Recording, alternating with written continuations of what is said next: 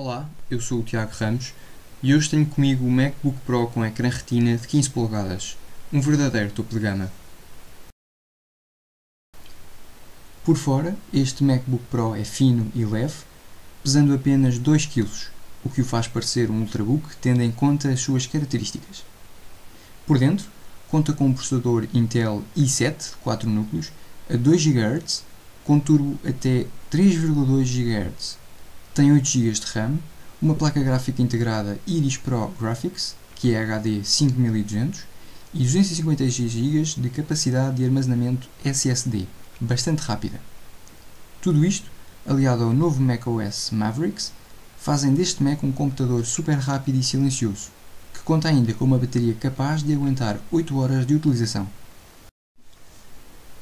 De lado, conta com duas portas USB 3.0, que são as mais rápidas, duas portas Thunderbolt 2, onde pode ligar um disco externo ou um monitor, até porque esta porta funciona também como um mini DisplayPort. Tem ainda uma entrada HDMI, através da qual pode ligar o computador à televisão sem precisar de adaptadores. Conta ainda com uma entrada para cartões de memória, auscultadores e a porta de alimentação MagSafe, que funciona com ímã, evitando acidentes caso alguém tropece no fio enquanto a bateria carrega. Além do Bluetooth 4.0, há ainda o suporte à mais recente norma do Wi-Fi, a AC, que é significativamente mais rápida que a atual e mais comum norma N. As chamadas de vídeo e voz têm ótima qualidade graças à câmara de alta definição capaz de filmar em 720p e aos dois microfones que reduzem o ruído ambiente.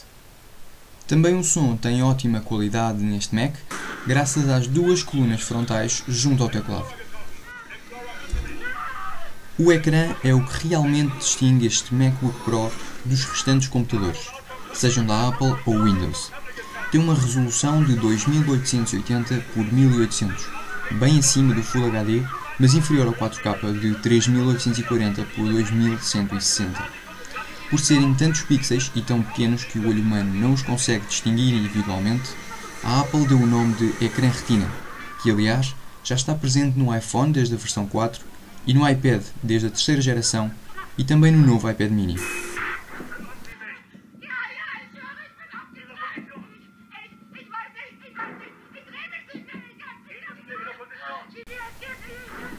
O teclado é bastante confortável para escrever e é o mesmo em todos os portáteis da Apple. Além disso, é retroiluminado, o que significa que em ambientes de pouca luz consegue ver as teclas. O trackpad é grande e suporta múltiplos gestos com vários dedos, o que torna a experiência de utilização deste Mac muito mais fluida. As características são de um computador topo de gama e o desempenho é de alto nível, como podemos constatar ao ver o novo SimCity a correr sem problemas, mesmo com o computador quente e com as ventoinhas a trabalhar.